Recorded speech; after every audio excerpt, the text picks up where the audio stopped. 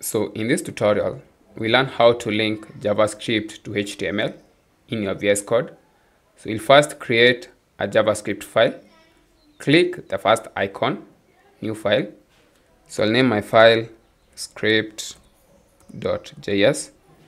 and it's always important to include the .js extension. Press enter and we have opened our JavaScript file. Come back to index.html and for JavaScript to work, place the line of code just above the last body tag. So keep that in mind.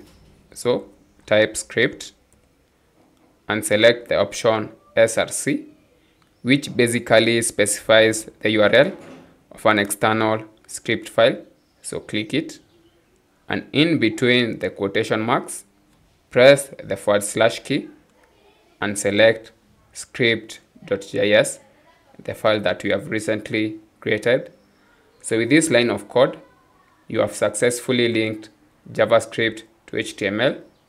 So we can test if JavaScript work in our website by having a pop-up saying thank you.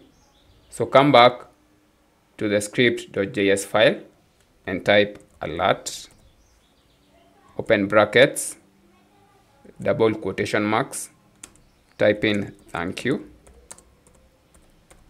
Save the file by clicking Ctrl and S. So come back to index.html. So right click and select open with live server. And you can see that you have gotten a pop-up saying thank you, meaning that you have successfully linked JavaScript to HTML. You can click OK. So that's how to link JavaScript to HTML. Thanks for watching. I'm Edwin from Pro Education.